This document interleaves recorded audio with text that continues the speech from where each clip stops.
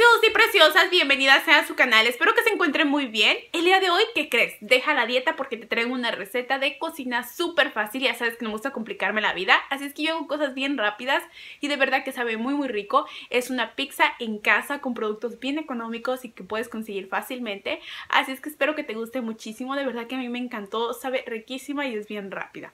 Y bueno, muchas gracias por todo tu apoyo También sabes que me puedes seguir por Facebook, por Instagram y por Snapchat Cuídate, espero que te encuentres muy muy bien y nos vemos en el siguiente video. Bye.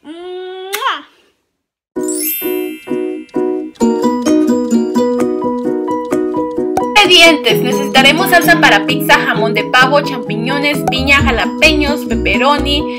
Este pan que es, es pan pita, así se llama, lo puedes conseguir en Walmart, en fue en todos lados, es muy fácil de conseguir está en la sección de todos los panes y tortillas. Y este queso que a mí me encanta que es el pepper jack. Y bueno pues comenzamos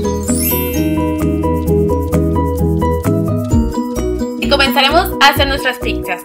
Yo voy a precalentar este tostador a 400 grados Fahrenheit. Lo hice en tostador para que sea aún más fácil. Y bueno lo que se está calentando el tostador vamos a armar nuestras pizzas que esto lo puedes hacer con tus hijos y de verdad que se van a divertir muchísimo y se la van a comer toda todita ya que ellos la prepararon. Y bueno vamos a pasar a ponerle lo que es toda la salsa.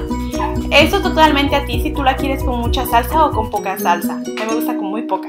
Después el queso vamos a poner los peperonis que como te diste cuenta tuve dificultades a la hora de ponerlos después vamos a poner los champiñones o tú puedes utilizar los ingredientes que sean mejor para ti o los que te gusten más.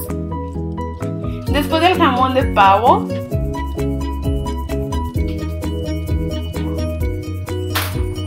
Los jalapeños, que yo aquí tenía los jalapeños un poquito congelados. Bueno, yo le puse más champiñones ya que me encantan los champiñones. Aquí voy a poner la piña, que ya se quería ir una. ya sea la piña en almíbar o la piña natural. Las dos te van a saber muy bien. Le voy a dar un pequeño apretoncito para que no se nos caigan todos los ingredientes.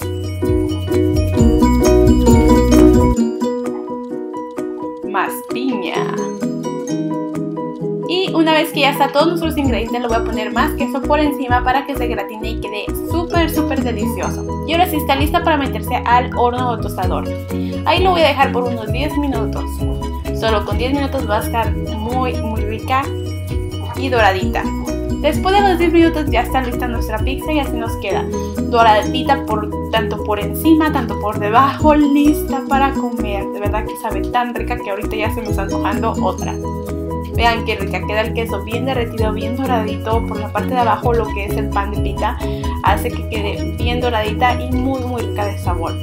Así es que ahora sí, pues ya a chicas. Yo los estoy acompañando con estos chiles dorados que, ay, qué rica sabe. Y bueno, buen provecho, espero que la hagan y les guste. Nos vemos en el siguiente video. Bye.